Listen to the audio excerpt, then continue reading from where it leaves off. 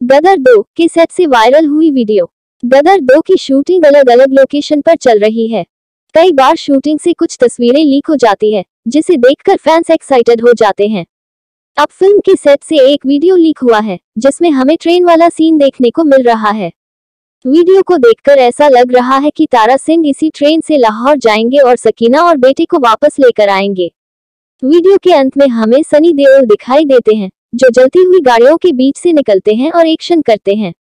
यकीन मानिए, इसे देखकर आपके रोंगटे खड़े हो जाएँगे गदर दो का ये धमाकेदार वीडियो किसी और ने नहीं, बल्कि सनी देओल के किसी फ़ैन पेज ने ही किया है, जिसके कैप्शन में लिखा है, गदर दो की शूटिंग।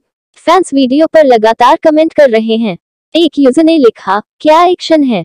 सनी पाजी आपको सिल्वर स्क्रीन पर देखने के लिए इंतज़ार नहीं कर सकता।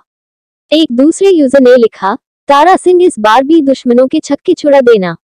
एक अन्य यूज़र ने लिखा, कभी ट्रेन तो कभी गाड़ियों पर स्टंट ये आप ही कर सकते हो। मेरे हीरो गदर दो का बेसब्री से इंतज़ार है।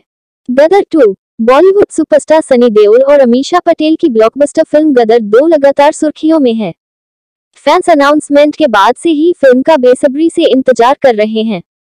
इस फ़िल्म में एक बार फिर दर्शकों को तारा सिंह और सकीना की लव स्टोरी देखने को मिलेगी। जिसमें